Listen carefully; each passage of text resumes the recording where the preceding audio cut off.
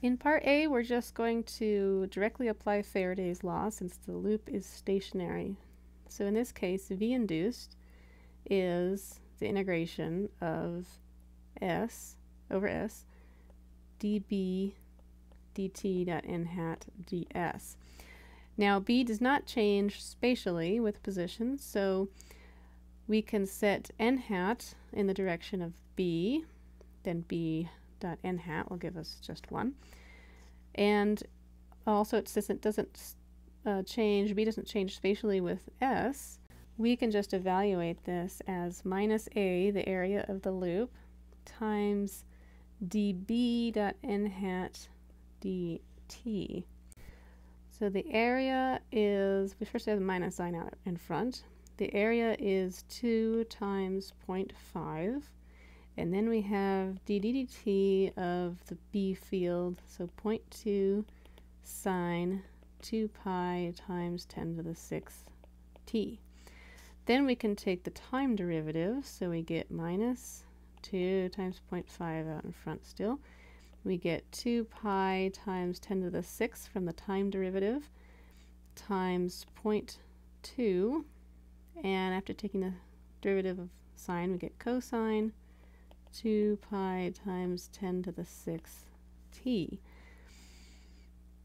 And we want to evaluate this at omega t equal to 0 and in that case we get minus 4 pi times 10 to the 5th volts.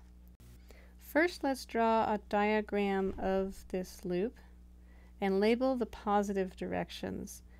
So we said n hat points in the direction of B, which is out of the screen. So by the right hand rule, if n hat is pointing up, our thumb points up out of the screen, and then a positive direction for dl is counterclockwise.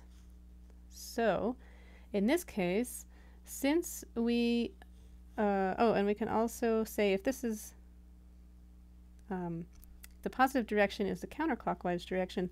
The wire is the source here, so we'll, that means that this would be the minus the negative side, and traveling around the wire in this direction, uh, this would be the positive side. Now, so since we have a negative result for our V induced, that means that the actual direction of our V induced is in the opposite direction of what we just drew for the positive directions. So now if I redraw this loop, the actual direction of the induced will be minus to plus uh, in this direction. In part B for number 4, we have the current is V over R which we just plug in minus 4 pi times 10 to the 5th that we just got over 5, and that will be in amps. And so this also gives us a negative direction. So the actual direction of the current will be opposite to dl from our, in our one of our in part A. So the actual direction of the current will be in that direction.